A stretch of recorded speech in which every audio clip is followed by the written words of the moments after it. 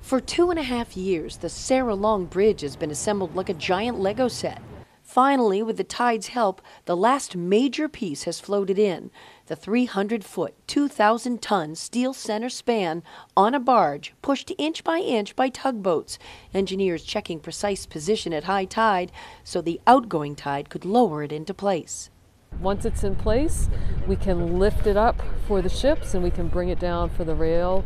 And in the in the meantime, um, most of the time, um, the bridge deck will stay at the road level um, so the vehicles can pass.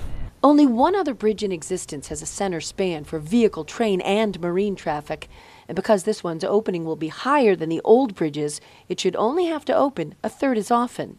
This is the second most important bridge for the state of Maine because it's the backup to the high level um, Interstate 95 bridge. It's incredibly important to New Hampshire because of the port. This photo shows a 750 foot ship headed to the opening of the old bridge.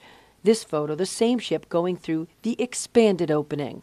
We'll be able to bring a little bit wider ship in We'll be able to bring it in more safely because the assist tugs will be able to escort the ship through the bridge. A safer, more economically competitive opportunity for key imports like salt and home heating oil.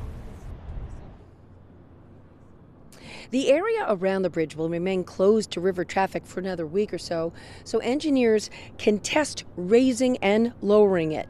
The bridge itself is expected to open to river traffic sometime in the next month. Those cars, a long time in waiting and being able to pass over it. We're live in Portsmouth. Jennifer Crompton, WMUR News 9.